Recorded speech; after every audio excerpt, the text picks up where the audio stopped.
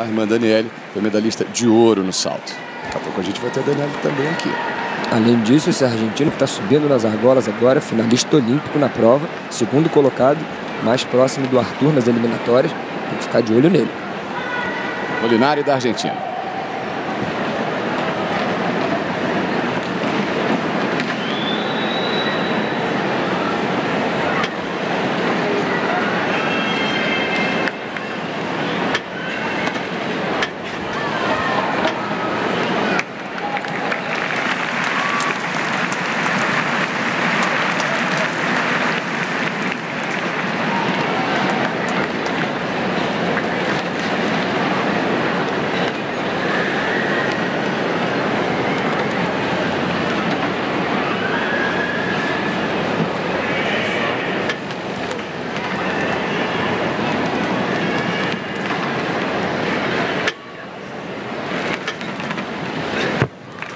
A saída praticamente cravada, com ligeiro desequilíbrio também, contente, satisfeito com a sua performance. Tatuagem deu para ver rapidamente ali dos anéis olímpicos às costas da Argentina, Frederico Molinari. Argentino fera no aparelho, de novo passa bem, consegue uma boa apresentação, vai receber uma nota alta. Felipe Cury.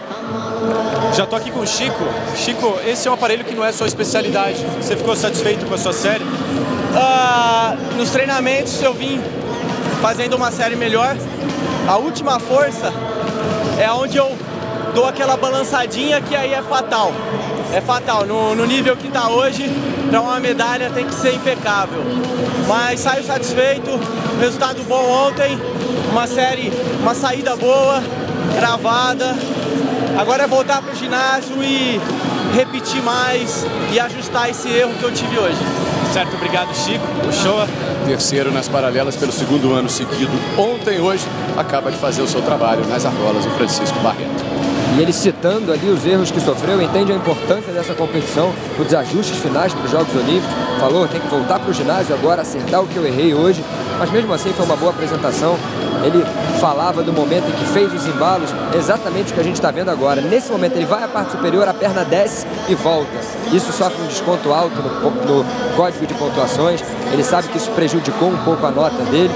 E consertando isso aí, sobe ainda mais ali aos olhos atentos do argentino no fundo, que seria o próximo a se apresentar, observando a prova do brasileiro. Interessante a participação do Chico, principalmente com essa saída, é o momento ápice da prova, ele sai para frente, ninguém faz mortais para frente na saída nessa final, só o brasileiro. E mais uma vez uma boa passagem, olha quem está na tela pra gente. Já teve medalha em Copas do Mundo. A ex-ginasta Laís Souza treinando para os Jogos Olímpicos de Inverno nos Estados Unidos, acabou se contundindo, teve uma lesão grave, ficando infelizmente tetraplégica, está fazendo um trabalho recuperação muito legal, um exemplo de superação para todos nós, prestigiando, prestigiando a competição a nossa Laís Souza. 15.05, hein? A gente falava da